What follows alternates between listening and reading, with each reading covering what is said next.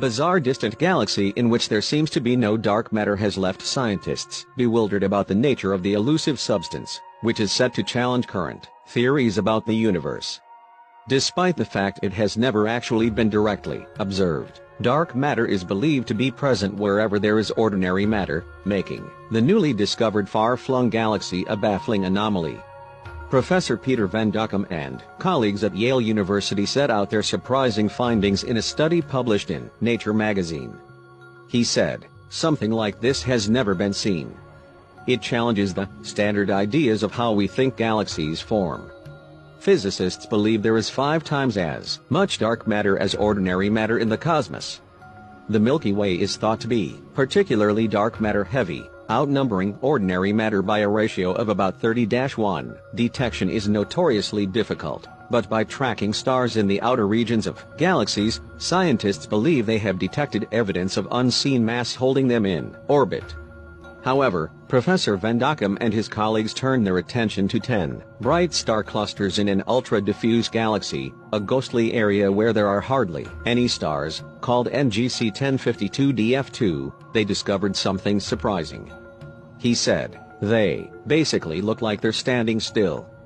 The stars in the galaxy can account for all of the mass, and there doesn't seem to be any room for dark matter. Nevertheless, the study's authors say the discovery of a galaxy without dark matter actually reaffirms their belief that it does exist, as well as raising questions about how galaxies form in the first place, Professor Dokkum said. This whole story is one of dark matter being the scaffolding on which every galaxy is built. It's not just a component of a galaxy, like a spiral arm, it's more like the fundamental skeleton that underlies all the structure in the universe.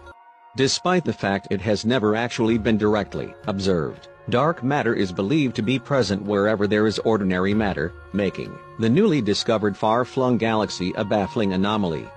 Physicists believe there is five times as much dark matter as ordinary matter in the cosmos, the Milky Way is thought to be particularly dark matter heavy, outnumbering ordinary matter by a ratio of about 30-1. Detection is notoriously difficult, but by tracking stars in the outer regions of galaxies, scientists believe they have detected evidence of unseen mass holding them in orbit.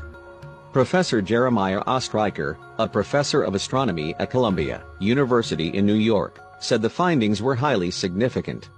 He said the standard paradigm has gas falling into halos, or lumps, of dark matter and turning into stars to make a galaxy.